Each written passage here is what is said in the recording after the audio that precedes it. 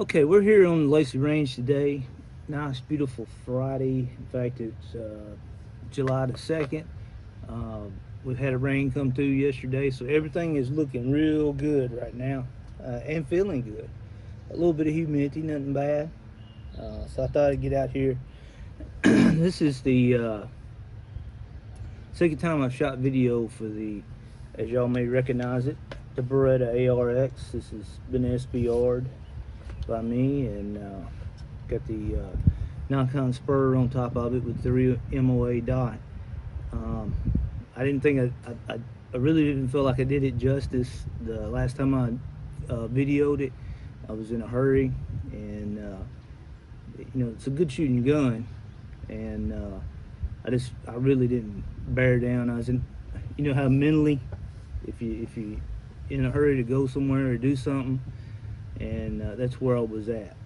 And I thought, well, I've got the 16 inch barrel for it. I thought, let's let's shoot it 100, see what it does, and uh, then we'll come back and put the 16 inch barrel on and see how much movement I've got. And with a th three MOA dot, uh, with either barrel, uh, we don't need to be expecting uh, cutting edge accuracy. But if I can stay around that uh, inverted triangle, which is three by three by three, hey, I, am happy with it. Um, like I say, one of the most uh, most innovative guns that are out there right now. These have got hard to find and uh, have gone up in price substantially. Uh, like I say, one of the most innovative guns out there right now. And I, I'm, I know it all comes down to looks. It looks goofy or something, but uh, uh, you know, I would take it over just about anything I've shot in the last few years, uh, and especially, uh, man, it, is light, something that you got to carry all the time. Can't beat it. Of course, I, I bought the rail and put on it down here. Uh, not that I really needed it, but I just liked it better. Uh, and if if I had my druthers, if I could do something to it that I would want to do. Uh, these side uh, side rails would go. And I think I would feel, especially over here with my thumb, I think it would feel much better. Um, I've tried, I've tried several things, but uh, I, I, still keep coming back to this. And uh, with that, uh, trying to think anything else to tell you about it. Uh, one and seven inch, uh, one and seven twist barrels. Uh, it's got a uh, two choices on your uh, gas system right up here. Got normal and oh, if you're starting getting slug or sluggish or something like that, you've got.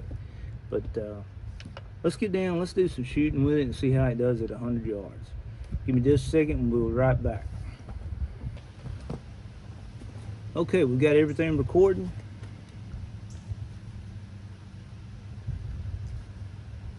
Got five rounds loaded up right here. Standard GI 20 round magazine. All right, let's see what she does. I'm gonna shoot with just the front rest, no back rest.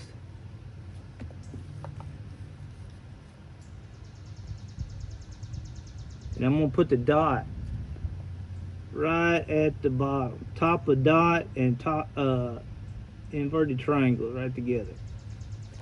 Oh yeah, and I forgot to tell you, this is not the uh, standard uh, trigger. Uh, the trigger that comes with this gun ought to be outlawed. It's so horrendous. It is horrible, horrible. Uh, my little gauge topped out. Couldn't even, I don't know what it pulled. It's 12 pounds or something like that. But uh, got a uh, aftermarket trigger in here and it's the ticket. So let's see what she can do, what she does.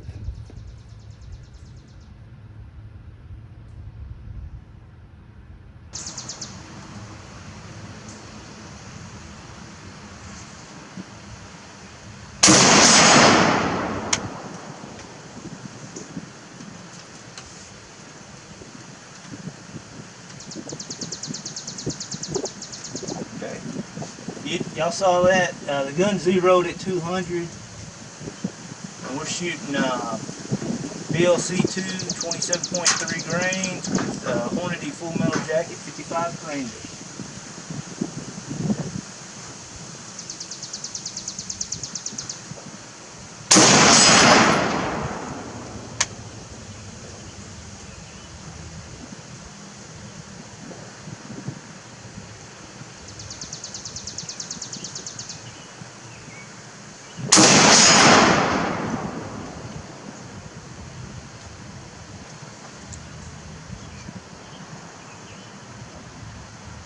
Got two up there right together and one in the triangle. That was uh, three rounds. I thought it had five in there. Uh, let, us go. Let's go two more and just see what it does.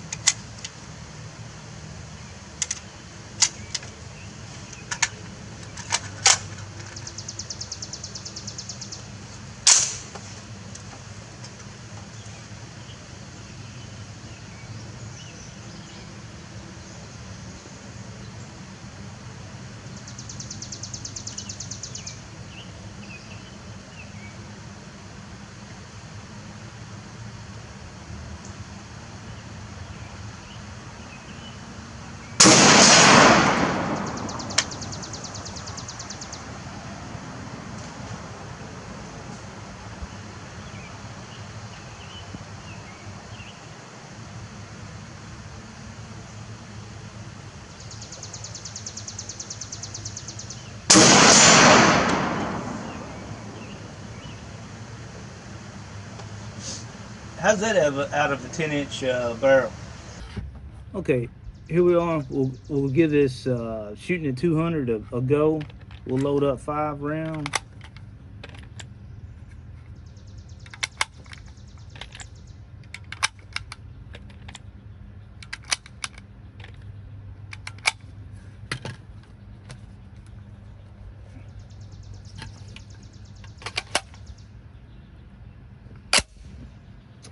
Okay, here we go. Going at 200.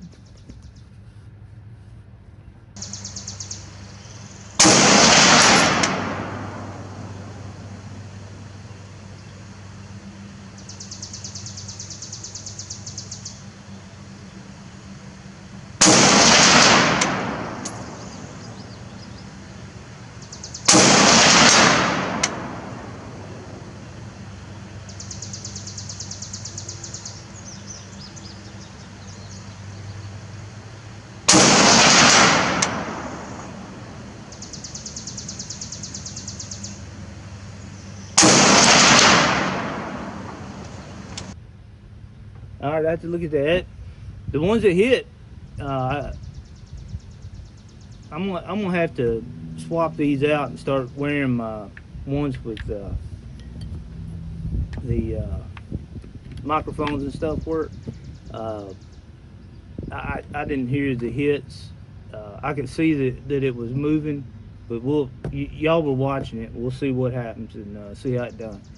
But with that, let me reorient everything and we'll swap the barrel out and see what we do.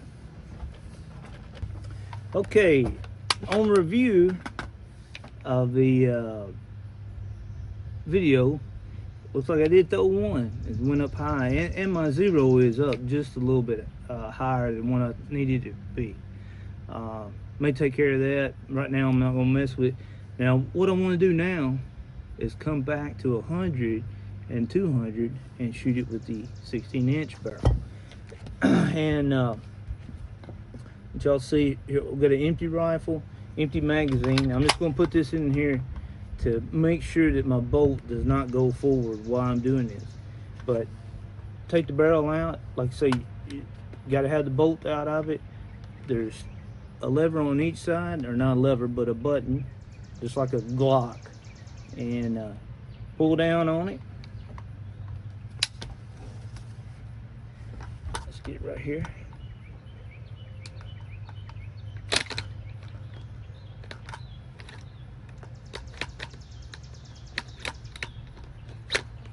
Well,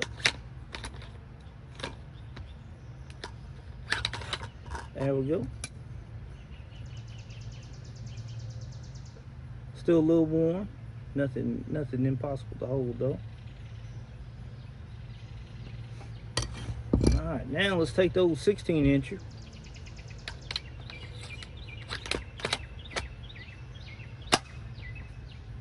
All right, we popped her in there. And got uh, that, that's all it is to it. Uh, now, as y'all can see, left and right, I'm pretty good. Um, you know, 200 with the, the red dot. I, I should have hit all five of them, but hey, we'll we'll go with it. We got it. And I had one that went up, up nicked the head, I believe, is, uh, yeah, almost went over the very top of it. But like I said, I think I would do much better with a regular scope. Um, and eventually I'm gonna put one on here. I, this red dot, I'm just not a big fan of of, of any red dot. Um, and I think it's more to do with my eyes, but I, I, definitely I don't have to have a whole lot of magnification, but I, I see a much clearer, sharper picture uh, without. In this case, the red dot sort of blurs a little bit on me, uh, but uh, let, let's let's get the camera back on 100. We'll come back and shoot the same spot, and we'll see how much it moved my point of impact. All right, hang on. Okay. All I can say about this is if Beretta machined this excellent enough that where they stay stay in the same point of impact, they have done something. I have not tried this before, so this will be the first time y'all get to see it as I'm doing it.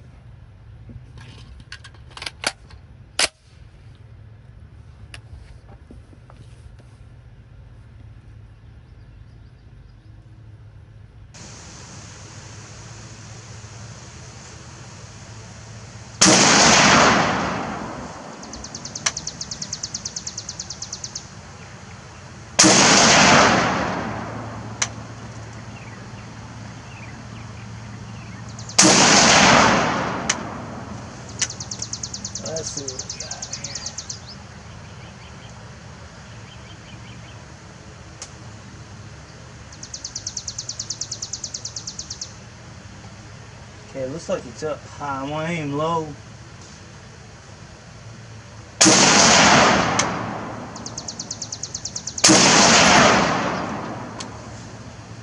Okay, I'm gonna have to watch the video on that because uh, I didn't hear any hits. We'll, we'll see where it's going and uh, see how bad off it is. Hang tight.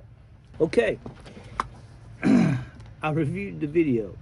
Uh, high left is where we was impacting, and uh, I think the, looking at the impacts, if I shot at the bottom right of the target, I, I would have hit it, but it, it's, it's not nowhere close. In fact, uh, this out of the box, I would have missed a, a human at that distance. So we are a no go on beyond changing barrels and uh, having the same point of impact with two different barrels, which is not unexpected. I mean, like I say, if like I said before this, if if if it had done it, I would be truly, truly amazed. Now, okay, there's no need to go into to 200 because we know that's I'm even gonna be further left and high. So let let's try putting the 10 and a half inch back on it and see if I maintain point of impact with that. And once again, empty magazine, empty weapon. Levers down.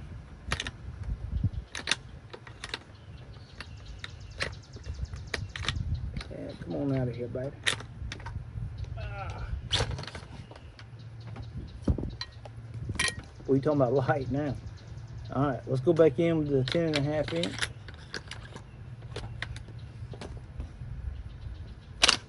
Yeah. Ah. There we go. Okay, let me get the camera going again. We'll do. We'll go back at 100 and see what it does. Okay, now this will be really interesting. The uh, if we can maintain you know, we've, we've gone back to the 10 and a half inch. If we can maintain point of impact after taking the barrel out, I will still be surprised uh, if we can do it. Uh, it's a lot. There's a lot to do to get a gun to do that. Whenever you see takedown like the little Ruger, uh, some of the the Japanese takedown with uh, Paratrooper 7.7 Type 99s, uh, some of your old lever actions that had that capability. Um, for them to go back and be dead on is some precise machining and something that's, that's made a bunch of them. I just don't know if you can reasonably expect it from them. But we'll see what we get here. And uh, like I say, 10 and a half inch barrels back on it. We're at 100. And let's see if it impacts as it originally did.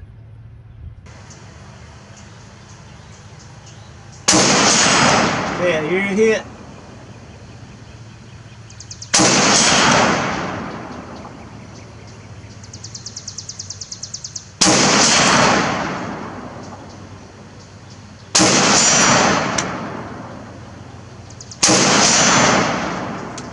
Okay, out, empty. Alright, let's see. Well, what y'all think about that? It moved a, a little bit. Uh, I'd still be good on tagging a, a combatant or anything. I, I, mean, I'm gonna be happy with that. Uh, it went, it did go up a little bit higher, but uh, you, you know the the barrel is changing uh, continuous rail up here nothing's changed here so you know click it in I mean it, it's it's in there good um, so like I say it, we, we could go out to 200 I think I'd even be higher. But uh, pretty good little test on that. And like I say the um, the Beretta is very very innovative. And uh, I, I think what I'm gonna do, because uh, I, I want to shoot this in one of the matches at uh, at Paducah, and uh, as some of you don't know, of course th this has been the SBR, and uh, you you got to notify the ATF if you if you go across straight lines, which which uh, where we're at here in in Paris is, uh, I mean we're only 15 miles from the the Kentucky border. Of course, I like going to shoot at Paducah in their matches, and and uh, I love shooting, taking something different every time. And uh, what I may do, because it's an iron sight match, I may go ahead and get my iron set for the 16 inch, and then uh, leave my uh, red dot on for the uh, uh, eight and a half or ten and a half rather. And that may be a viable solution for me. And I think I am going. I'm going to change uh, the sights on here. Nothing's wrong with this Nikon. I just see better. Through even if it's a one power magnified optic, I see better. And uh, I think we, we see the potential of the rifle. And uh, I, forget what they call it. Uh, with your eye, and, and I may have a little bit of that. Uh, where the uh, the red dot is not perfectly round and and in fact I, I, know when I throw a magnifier on one man it looks so much better uh, than what I, I, can see here so we, will probably swap it out and see what we got I've got an EOTech and uh, magnifier sitting in there that probably need to be used so I may put it on here but once again thanks for being here with the Lacy Range and listen to me ramble I, I do love this gun though. I think I, I, I would recommend it to anybody. I, hope, I hope the Beretta, now that they moved to Gallatin, Tennessee, that they go back producing these. Because uh, they truly are some very nice rifles. Uh, they need to change the trigger in them. Uh, but other than that, I mean, I can deal with, like I say, I'd love for these to dis disappear. I know I know you probably can grind them off and do all that, but I'm not gonna do that to this gun. But uh, I, I really wish they would do something uh, about the trigger. And I know everybody wants to have plastic light, but in this case, guys, it ain't working. That uh, beast of a pool that you've got. But uh, come back and see us and uh, come shoot with us sometime. See ya.